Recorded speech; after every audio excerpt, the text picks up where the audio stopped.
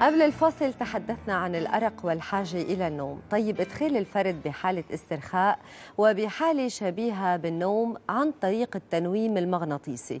شو بيعتبر وشو يعني تنويم المغناطيسي؟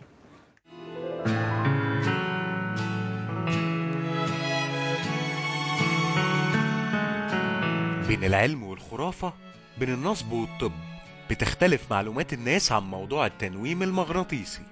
التنويم المغناطيسي ده أيام الستينيات كان في الأفلام العربي. فيلم عبد السلام البولسي ده. أما دلوقتي دي ظاهرة خرافات أصلا. ما أعرفش حاجة عن التنويم المغناطيسي غير في أفلام إسماعيل ياسين. إيه، كنت شايفها إن هي حاجة خرافية.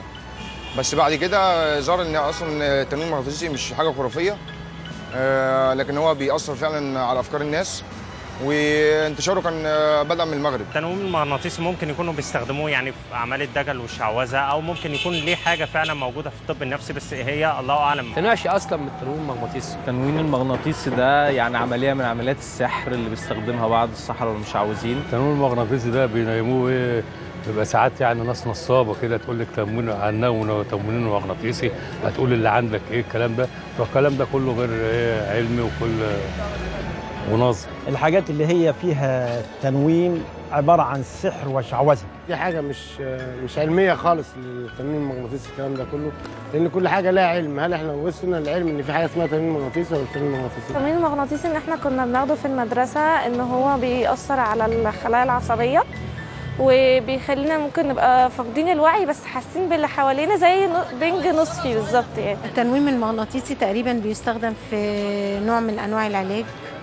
وبعدين إحنا ما عندناش فكرة كفاية عنه يعني يا ريت يبقى فيه معلومات أكتر عشان نفهم يعني هو إيه المضمون بتاعه. التنويم المغناطيسي ده علم. آه، وأنا كنت اتفرجت على برنامج بتاع بس ناس للأسف اسم الدكتور وكان في برنامج آه، بيتكلم عن طرق التنويم المغناطيسي وكان بيقول إن الواحد يركز في حاجة معينة ويبدأ يسترخي خالص ويبدأ يحسس نفسه ان نايم واحدة واحدة بينام.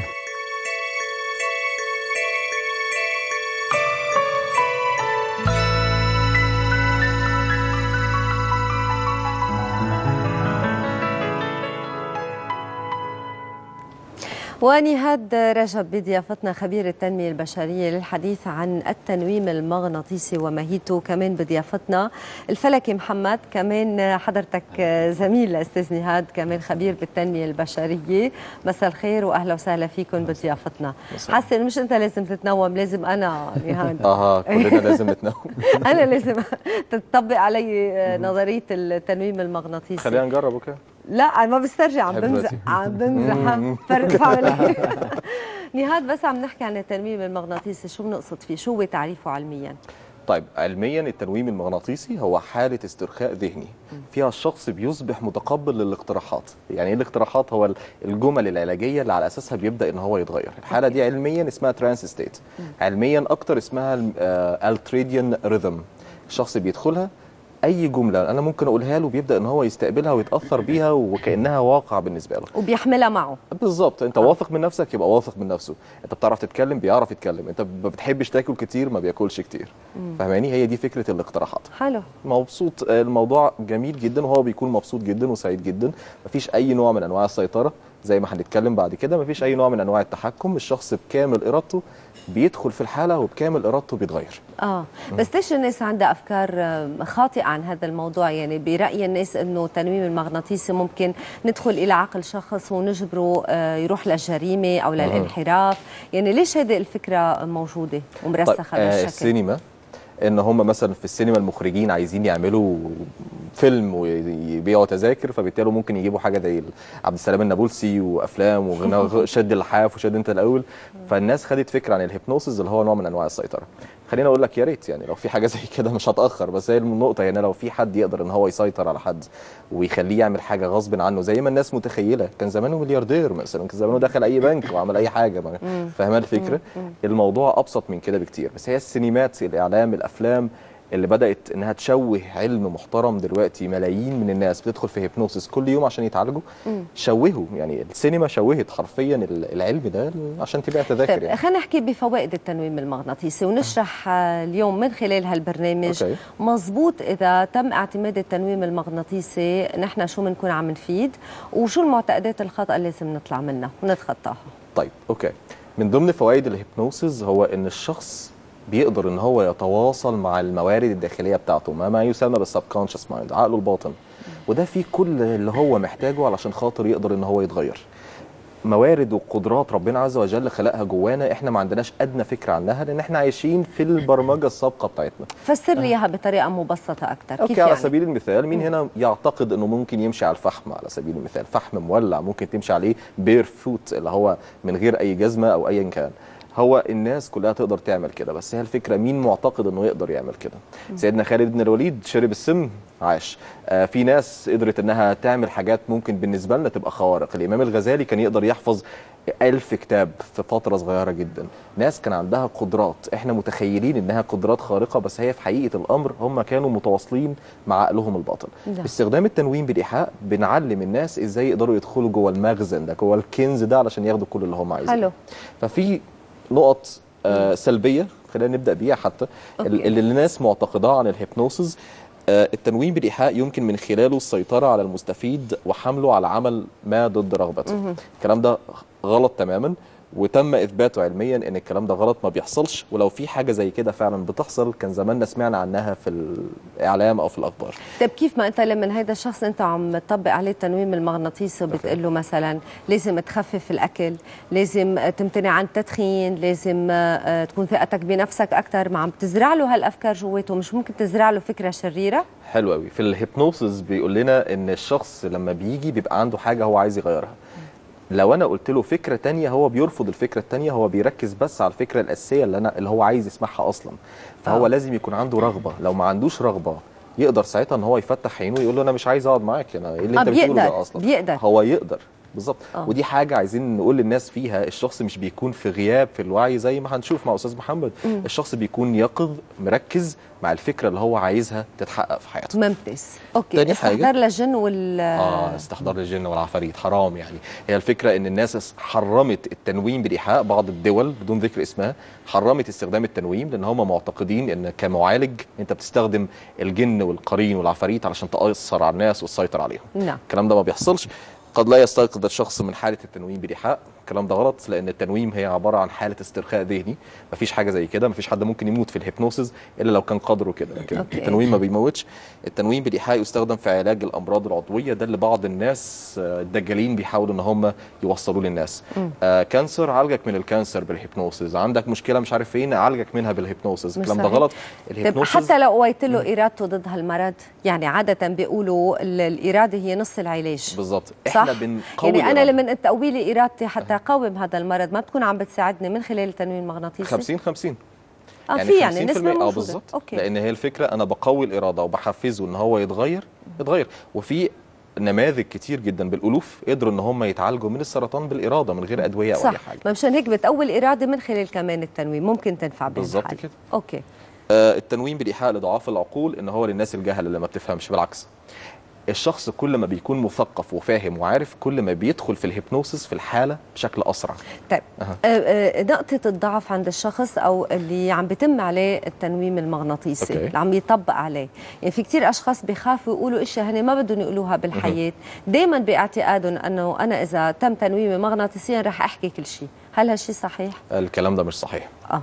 آه أنت مش هتقول حاجة تحت التنويم أنت مش واعي ليها أنت already واعي طبقا لجيمس بريد وناس تانية اللي عملت ال hypnosis أصلا بيقولوا فكرة التركيز على فكرة واحدة أنت بتركز أنت already الوعي بتاعك موجود مش ملغي فأنت مش بتقول حاجة غصب عنك. الكلام ده غلط. تماما يعني. أما بالنسبة لل points الحقيقية الخاصة بال hypnosis فاولا التنويم بالإيحاء هو الوصول بالشخص لموارده الداخلية وقدراته. زي ما اتفقنا. نعم. التنويم بالإيحاء هو حالة استرخاء ذهني. التنويم بالإيحاء بيساعد في إنقاذ انقاص الوزن والثقة بالنفس تزويد الثقة بالنفس تخلص من المشاعر السلبية إبطال العادات الإدمان المخدرات. حلو. التنويم بالإيحاء معترف به في كبرى الجامعات العالمية كامبريدج اوكسفورد وفي أقسام وأبحاث ومعامل. الموضوع ده مش تهريج دلوقتي. فلو في حد متخيل إن ال hypnosis لسه بيستخدم استخدام خاطئ وإن الكلام ده ما بيجيبش نتيجة عايزه يبطل الفكرة دي دلوقتي ويبدأ يغير اعتقاده لأن الكلام ده ممكن فعلا يغير حياته للأفضل okay وما في فكرة إنه أنا من بدي اياك تستيقظ آه يعني بيقدر يوعى بساعتها بيقدر يستيقظ بساعتها ولا ممكن يرجع يكمل بسبات آه okay عميق. هو السؤال ده شوية تقني لأن آه. في لما بنعمق حالة ال trance state بندخل في ال ultra depth بندخل في ال coma state ساعات بندخل في okay. حالات أعمق كل ما الحالة تبقى أعمق كل ما الاسترجاع بياخد وقت بس إحنا ما بنوصلش لل ultra depth مثلا إلا نادرا. لكن إحنا في الطبيعي لما بقول له هعد من واحد لخمسة عشان ترجع الشخص بيفتح عينه بمنتهى البساطه طيب في حالات نفسية كمان آه، بياخدها معه نهاد الإنسان وبيحملها كل حياته. فبنشوف أنا عم بحكي حسب ما بقرأ وحسب ما بشوف ببعض الأفلام الوثائقيات آه، بفوتوا إلى مراحل الطفولة معه من خلال التنويم المغناطيسي. بيرجعوا بمراحل كتير قديمة. تمام. آه، هذه من المراحل الصعبة اللي عم بتقول عنها بفوت بالضبط. واحد إلى التعمق وإلى الجذور. ده بيسمى بال age regression أو الاسترجاع في العمر. والاسترجاع في العمر هنا إن أنا ممكن أخلي الشخص يسترجع بعمره 10 سنين 20 سنة في استرجاع ما قبل العمر. يعني حد حرفيا نماذج وتجارب صح. رجعوه صح،. لقبل ما يتولد ويفتكر أحداث هو عمره ما عاشها ولا عمره قرأ عنها في أي مكان.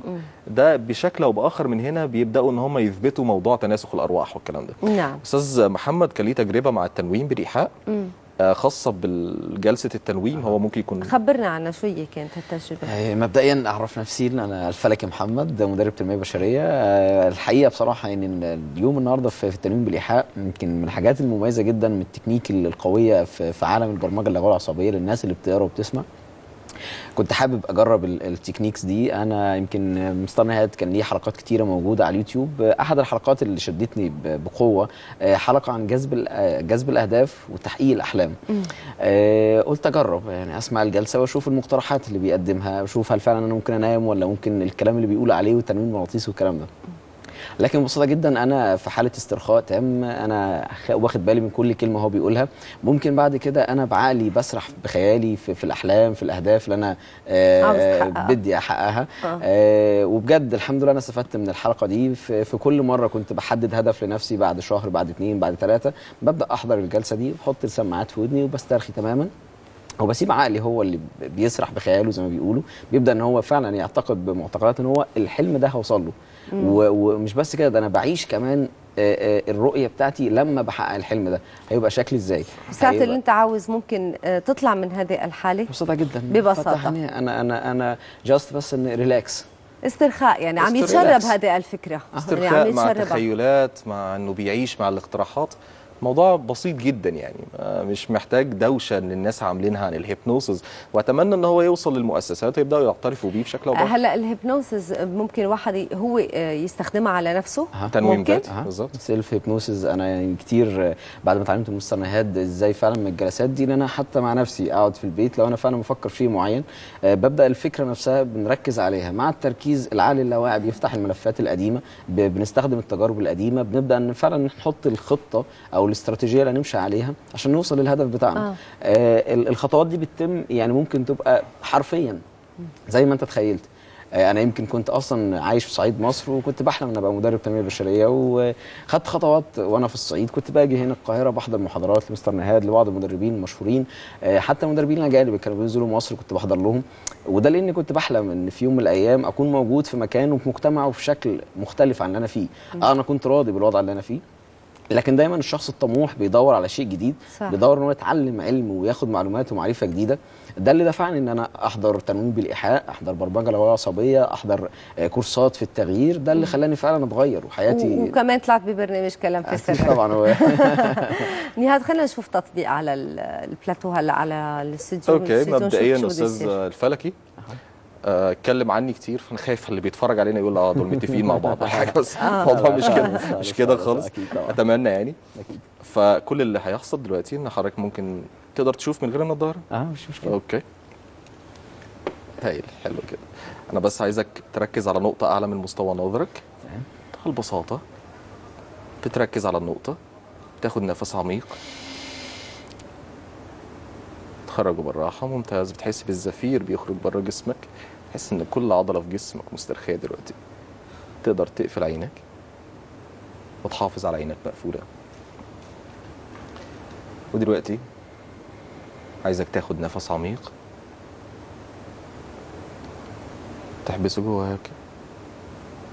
وتخرج الزفير ما بين شفايفك في أطول فترة زمنية ممكنة ممتاز كل زفير بيخرج بره جسمك بيضاعف الاسترخاء جواك. يوصلك أعمق أكتر وأكتر. لمرحلة ال trance state اللي أنت يمكن تكون عشتها قبل كده تستحضرها دلوقتي جواك. ممتاز. هايل. كل زفير بيخرج بره جسمك بيضاعف الاسترخاء أكثر وأكتر. وأعد من عشرة لواحد مع كل رقم هقوله هيضاعف استرخائك تحس بالاسترخاء بينتشر في كل عضلة في جسمك كأنه موجة نور استرخائي رباني. ينتشر من عقلك من دماغك لصدرك لجسمك. بيدخل جوه كل عضلة وبيفك أي توتر أي قلق وبيساعدك إنك ترتاح. عشرة. تسعة. مسترخي أكتر وأكتر. ممتاز. تمانية. سبعة كل صوت بتسمعه بيضاعف استرخائك أكتر وأكتر. كل شيء حواليك بيدخلك أكثر وأكثر في الهيبنوسيس. سبعة. ستة. خمسة. أربعة. ثلاثة اثنين. واحد. ممتاز. ده بالظبط اللي أنا عايزه. مع كل زفير بيخرج بره جسمك. بيضاعف استرخائك عشر مرات أعمق. هديلك فترة صمت في خلال فترة الصمت. عايزك تركز مع الزفير وتضاعف استرخائك في خلال ما أنا بتكلم. أنت بتركز مع الاسترخاء. موضوع بمنتهى البساطة في خلال ما مستر الفلكي بيسترخي أكتر وأكتر. هو عبارة عن استرخاء أكتر من كده مفيش. الشخص لما بيكون مسترخي عارف أنت لما يكون عندك مشكلة وأنت مضغوطة قوي في اللحظة اللي انت هتسترخي فيها هتلاقي حل المشكلة ده كل التنويم بمنتهى البساطة.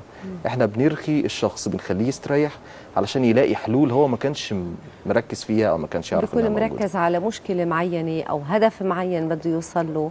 من خلال هذا الاسترخاء آه، بيقوي عنده هذه الإرادة والرغبة. بنبدأ بالاسترخاء لكن اللي بعد كده بقى الاقتراحات اللي أنا هقولها له والقصص والحاجات دي كلها هو بيعيشها أكتر. مم. الموضوع بمنتهى البساطة أي حد ممكن يعمله في البيت بس هو بس يتبع الخطوات البسيطة دي. نعم. آه، معنا كتير وقت نهاد نرجع نفوت للمرحلة الثانية. لا إحنا حالا ممكن نسترجع. بس خلينا نشوف مروان بالأول نشوف ردة فعل الناس على موضوع التنويم المغناطيسي. مروان؟ خليني أقول لك إن إحنا النهارده يعني هي فعلا فقرة مختلفة خالص عن كل اللي قدمناه قبل كده. خدتنا السؤال بتاعنا ما رأيك في التنويم المغناطيسي وهل سبق وقمت بهذه التجربة؟ فجالنا مثلا ردود مثلا هنا صباح بتقول تجربة غريبة وشيقة نفسي أجربها مرة. آه، فريد بيقول الواحد محتاج محتاج كل يوم نص ساعة مغناطيسي عشان يبقى زي الفل. وفي عاصم بيقول أنا جربت مرة ونمت بس ما حسيتش بأي حاجة بعد ما فقت. وفي ملك بتقول يعني لو نيمت حد مغناطيسي واديته أي order هينفذه ولا ده أي كلام؟ فالموضوع غريب ومختلف. خليني بس في آخر الحلقة أفكر الناس سريعا بكل ال links بتاعتنا اللي تقدروا تتواصلوا معانا من خلالها. ال page بتاعتنا يا جماعة على الفيسبوك هي page كلام في سرك. دي اللي أنا بقرأ اغلب أغلب ال comments بتاعتكم من عليها. وفي ناس خلينا قلنا في ناس خلاص بقوا أصحابنا. يعني في أسماء كده بقيت بشوفها متكررة كتير فبقيت عارف إن دول اصدقاء البرنامج زي ما كان بيتقال زمان. وفي ال account بتاعنا على تويتر اللي هو كلام في سرك خشوا اعملوا لنا follow عليه. وكمان أي حاجة حابين تتكلموا فيها تخص البرنامج اتكلموا بالهاشتاج بتاعنا هاشتاج كلام في سرك بالعربي. وكمان آه، في أحب أفكركم إن بعد ما الحلقة هتخلص تقدروا تشوفوها على اليوتيوب على الحياة TV network عشان أي حد فاتته يقدر يتفرج عليها. وأقول لكم تصبحوا على خير ونرجع للفقرة بتاعتنا. شكرا لك مروان. حتى الصوت تغير معك. أنا حاسة هيك كمان بدي اختم برواق يا هاد نعم. شو بده يصير؟ okay. بدنا نوعي لصديقك شكرا أستاذ الفلكي. تقدر تفتح عينك وترجع للوقت الحالي. بمنتهى الروعة ومنتهى الاسترخاء. لو أنا كنت سألتك هات الفلوس اللي في جيبك كنت هتديها لي؟ طبعا معيش فلوس أصلا. آه. شفتي؟ آه، لازم ذكاء. بس الموضوع بسيط يعني. كان استرخاء تام إيه؟ تمام أنا كنت بحلم بقى إن إن شاء الله قريب هيبقى معايا برنامج معاك إن شاء الله. يلا إن شاء الله. شكرا. كثير لحضورك معنا. نهاد رجب. كمان أهلا وسهلا فيك. بضيافتنا. بنذكر إنه نوه بنقطة كثير مهمة إنه باليوتيوب بيقدروا يشوفوا المقاطع الخاصة فيك. تمام. صح؟ ولا التمارين للي بده يتابع أستاذ نهاد رجب بيقدر يتابع التمارين من خلال اليوتيوب. وباسترخاء كمان بنودعكم على أمل نلتقي معكم بحلقة جديدة. كونوا على الموعد وإلى اللقاء.